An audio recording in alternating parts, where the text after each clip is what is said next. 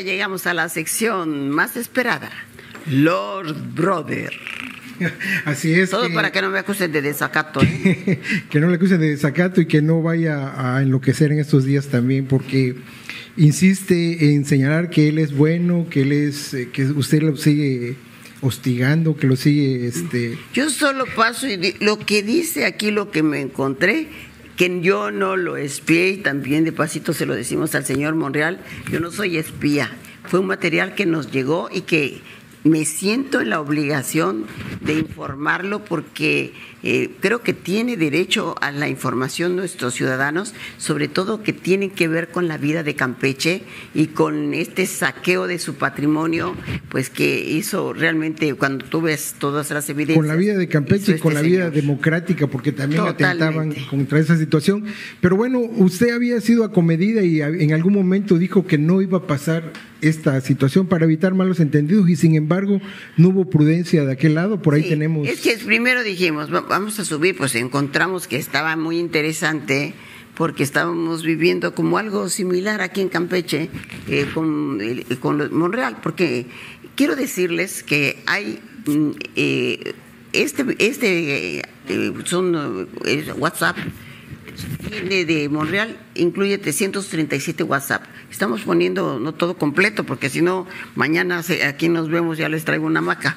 Pero eh, este es de 337, pero nos quedan 800 paquetes, digamos, de diferentes personas para que vean la cantidad de material que es, que solo una persona la ponemos a analizarlo para evitar que se cuele. Entonces vamos lento. Entonces no ha sido fácil.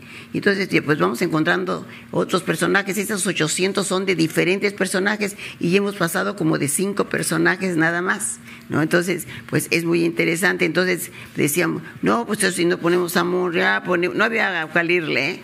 pero entonces la cosa es que pensamos que lo de Monreal, pero en verdad que lo hice sin mala intención sino pensando que pues hay un acto de corrupción que se parece mucho a lo que estamos viviendo nosotros ahorita aquí en Campeche, ¿no? Entonces, por eso se me ocurrió, lo subo y entonces, pero yo creo que lo acababa de subir y ya le estaban avisando a, a, Monreal que yo no tengo nada contra de él, realmente no es nada personal. Y entonces él sube otro, una, se valentona, como dicen ahí en, la colonia. Sí, pero se enoja, no se controla y, llama, porque se hacen sus autoentrevistas, ¿no? Ya te, ve cuando están fabricadas con la pregunta que, que, me tienes que preguntar para que yo conteste. Hasta parece que los brothers le manda a sus amigos. Sí, sí, sí, yo creo que sí, ahí se ayudan, ¿no? Entonces, bueno, porque entonces pues ya se ve que es muy amigo de los brothers, entonces también dices, qué duro. Y entonces él declara y ahí lo tienes, ah, pues ahí tienes el video, pues por masoquismo vamos a verlo. El hecho de que lo anuncie la gobernadora ya es una, un inicio de la guerra sucia que me parece pudiera desencadenar en que el movimiento se conduzca a caminos sin retorno cuando ya se acude al espionaje o a la intervención de comunicaciones privadas para fines políticos, es ominoso. Ahora es lo mismo lo que van a sacar de estas intervenciones ilegales. Es eh, mis conversaciones con dirigentes políticos, con grupos parlamentarios, con personalidades distintas. Bueno, él puede platicar con quien sea y ese no es el problema.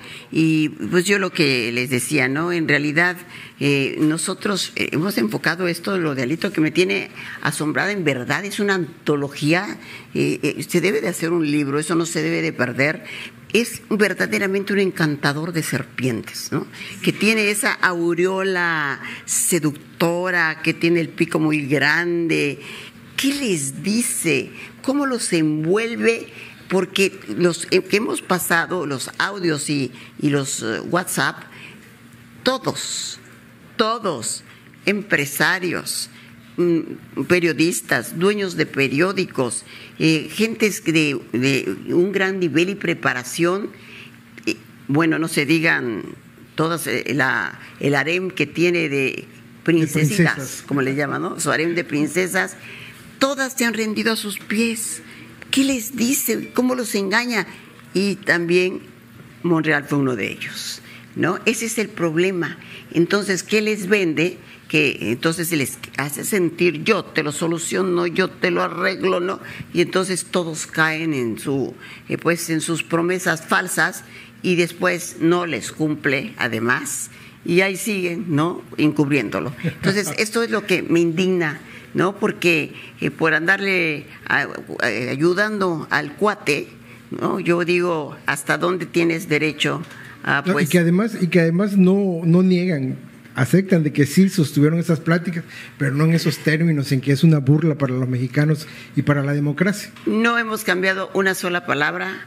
Les puedo asegurar que estamos diciendo la verdad puntual, porque hemos sido muy cuidadosos y hemos aprendido muy bien las lecciones de Andrés Manuel, así que de eso no nos van a acusar que los les hemos inventado. Lo más que dicen, no, es que yo me llevo con todos los líderes, como dijo el del el del INE, el del no, el de sí, el del INE, ¿verdad? tenía que hablar con todos. Sí, pero lo que no dijo es que le arregló todo lo que tenía su partido político para que lo pudiera cambiar de una manera indebida y él en lugar de que fuera un colegiado, él fuera único, él fuera el único que decía diera todas las candidaturas del PRI, por eso el PRI se, se estrelló y se, se, se, facturó de esa manera, ¿no? Entonces, ¿pero qué tiene que meter ahí este, este señor? Pero ya de ahí se quedó callado, cuando menos ha sido pues más prudente, ¿no? Pues, pues aquí tenemos precisamente esa plática. Amigo, solo preguntarte, ¿sí promoviste amparo por el tema que comentamos? Hermano, el único amparo que se promovió fue porque el Ministerio Público promovió el aseguramiento de todos mis bienes y mis propiedades. Y era un tema que me recomendó el abogado que si no presentamos el amparo, pues íbamos a perder todos mis bienes. El amparo que presentó el abogado es contra el aseguramiento de mis propiedades, que además no lo pueden hacer. Única y exclusivamente eso. Como no me amparo, si se vence el término. Eso me dijo el abogado. Estoy avanzando. Mi hermano, muchas gracias, te lo aprecio. A ver si nos vemos mañana. Tema político, ¿ok?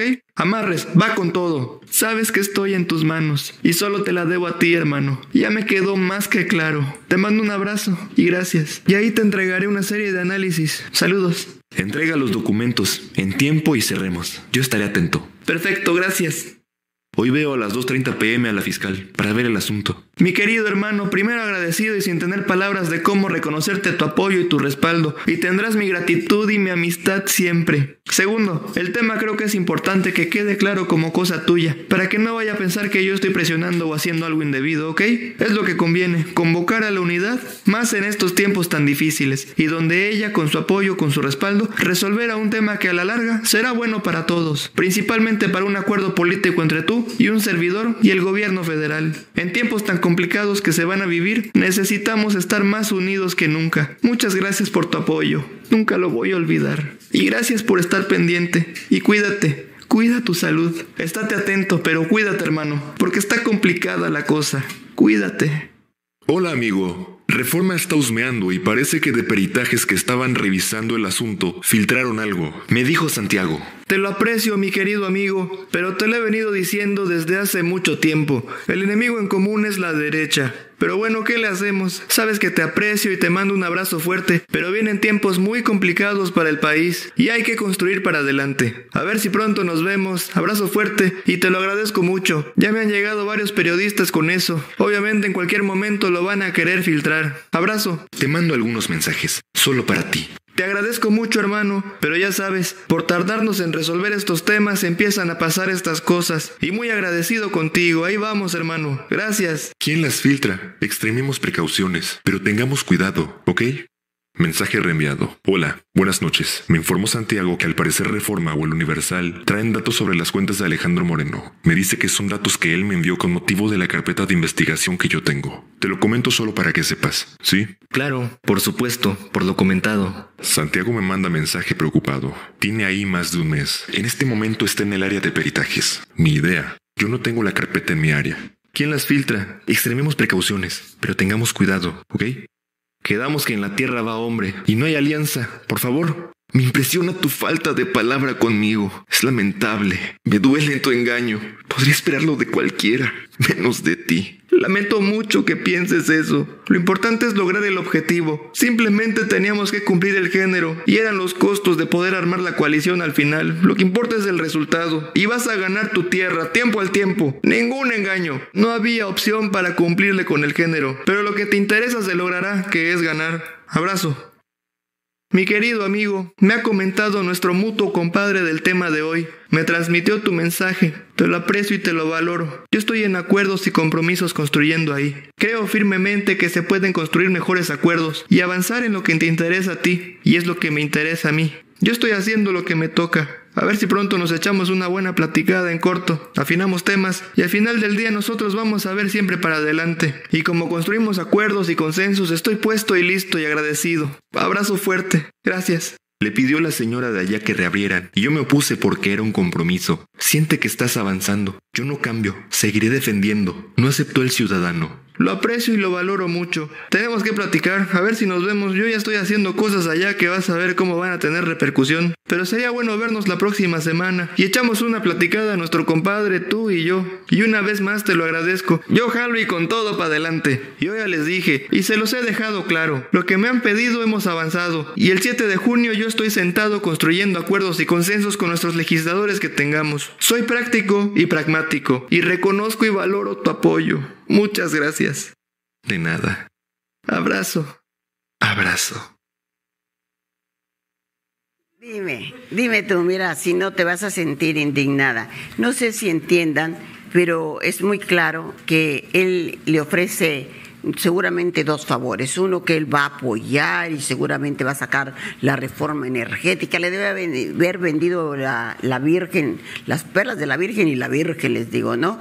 Pero además le promete que no va a haber alianza con su hermano. Eso lo motiva mucho a... sí, o sea, ahí pues prácticamente le pasó a, su, a su abanderado como le pasó a Ana Marta, la traición estaba en casa, ¿no? Totalmente, pero además, eh, qué mal porque entonces yo me pregunto cuando ella está ahorita buscando culpables y, señala a uno y señala al otro, no, no, no, no, no empieces eh, pues otra vez con eh, estos escenarios, no, sino yo lo que creo es que él está obligado a explicarnos ¿Por qué trafica con la justicia? Es un tráfico de influencias.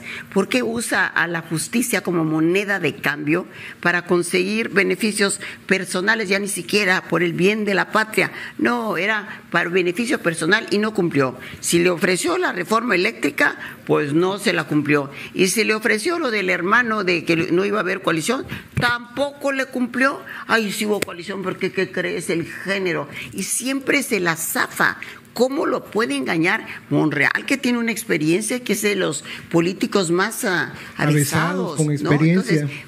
Yo, yo me impresiono. Yo por eso les digo, me siento muy orgullosa. A nosotros sí tenemos esta autoridad moral porque nunca le recibimos un peso. Y creo que por eso podemos